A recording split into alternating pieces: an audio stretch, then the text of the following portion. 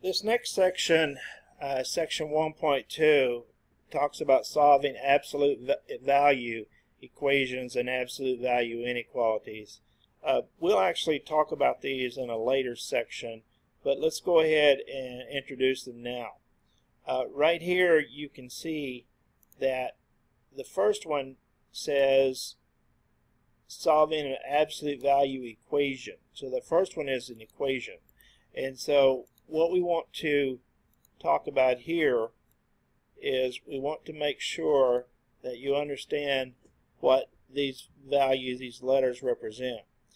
Obviously this is the absolute value symbol. A just represents any algebraic expression and K actually is any positive real number. So K must be a positive real number.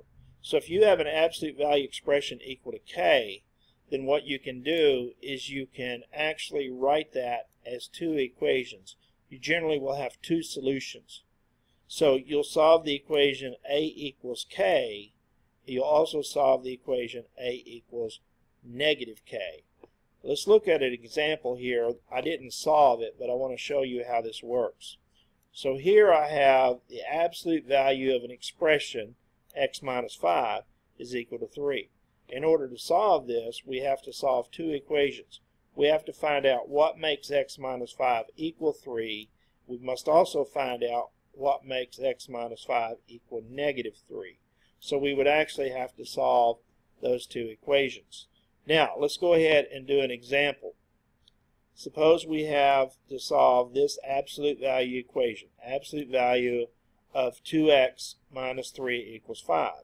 Well, like it says up here, we, we have to remove the absolute value, and a lot of students forget to do that, but you remove the absolute value when you set up, set up the two equations. So we have 2x minus 3 equals negative 5, and 2x minus 3 equals 5. Once you get those two equations set up, it's pretty simple because we know what to do from here.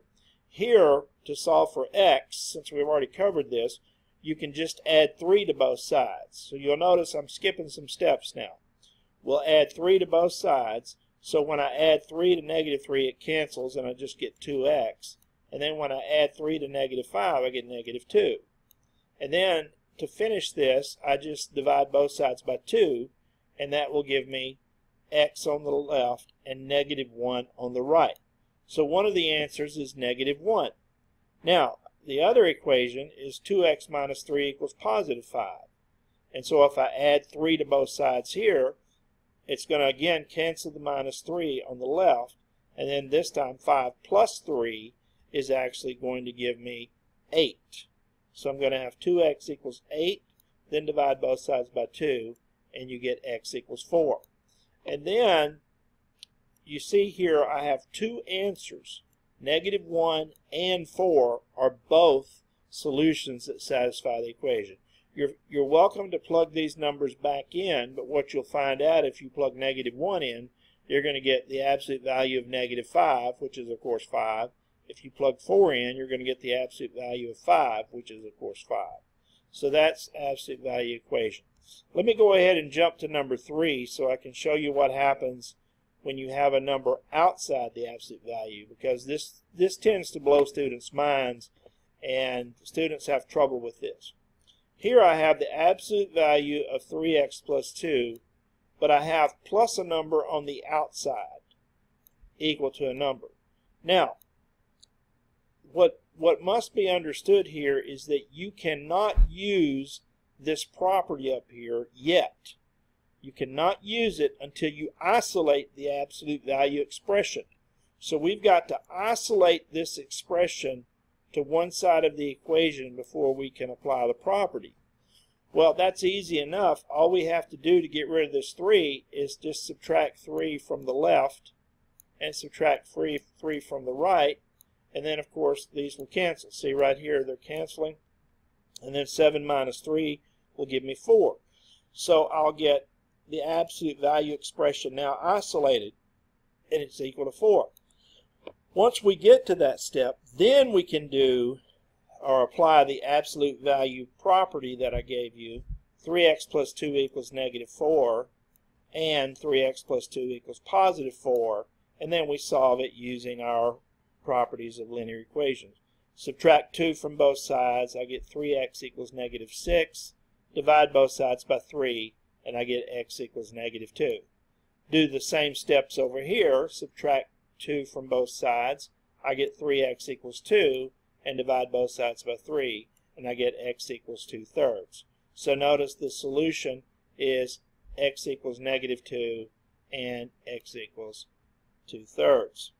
So there's two solutions again. Let me emphasize that k must be greater than 0.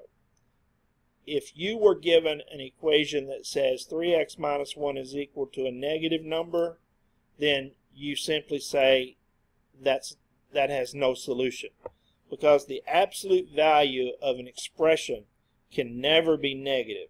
The absolute value just gives you the absolute uh, value of the number, which is a positive value, or it can be zero. Okay, now we're going to move on to absolute value inequalities.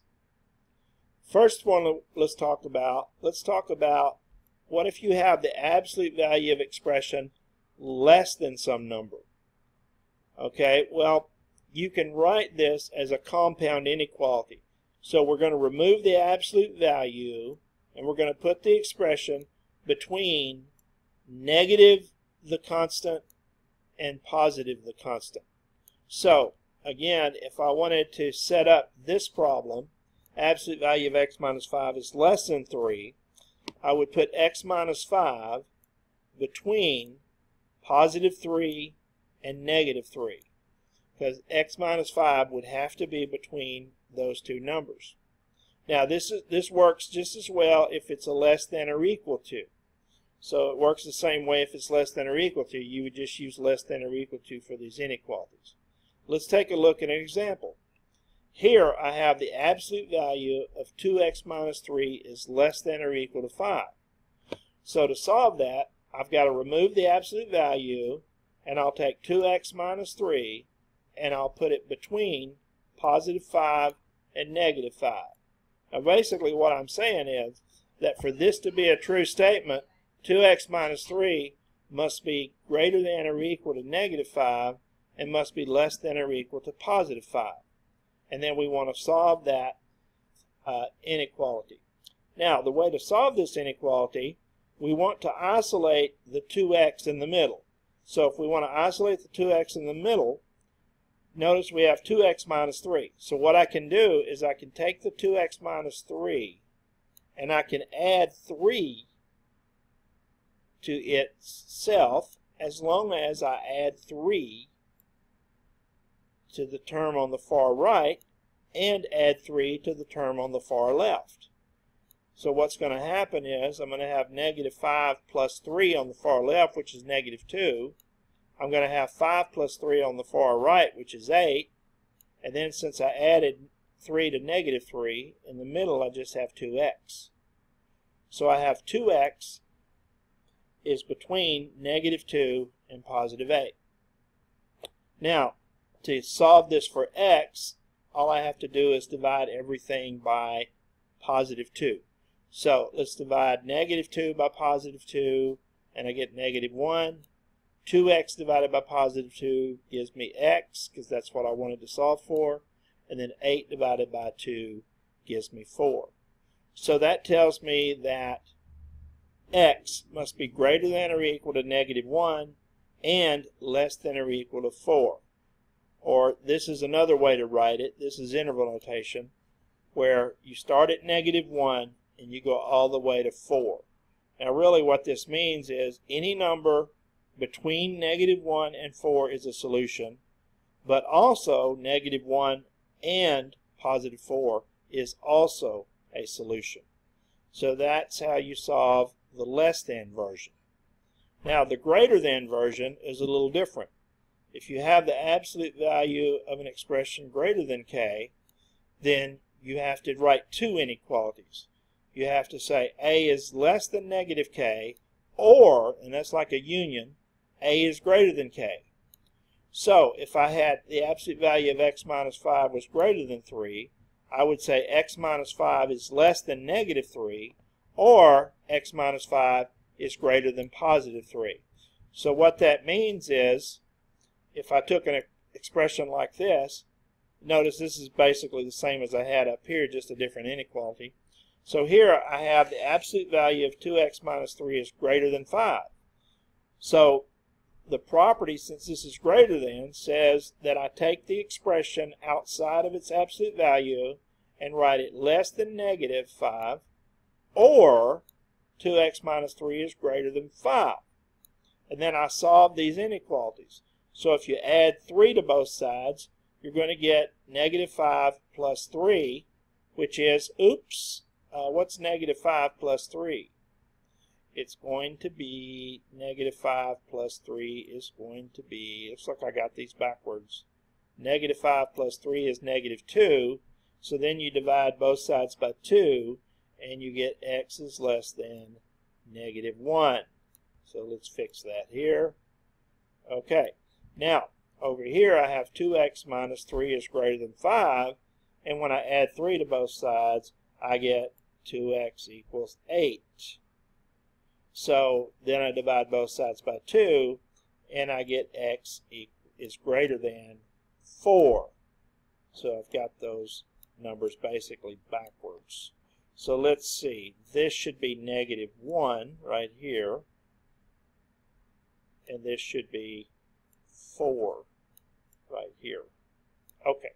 So anyway, the answer is x is less than negative 1 and x is greater than 4. That's why I like doing these videos online because I'm able to catch these little errors. Okay, so the interval notation for everything less than negative 1 would be negative infinity to negative 1 with parentheses, union, and then of course you also include everything greater than 4. Everything greater than 4 would be parentheses 4 to infinity. Now, the difference between these two inequalities is this one usually contains everything between two numbers and of course if it has the equal to it includes the numbers.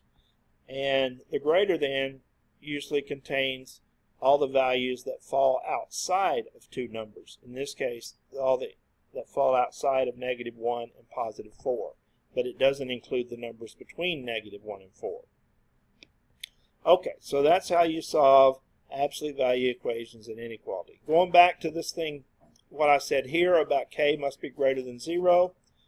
See, it wouldn't make sense to say when is the absolute value of 3x plus 5 is less than negative 5, because again, the absolute value can't be negative, and if it can't be negative, it can't be less than a negative number. So it would make no sense to try to use this property. It would actually give you the wrong answers if you did. And also, if you used it on the greater than case, well, when is the absolute value of something greater than a negative number? Well, always.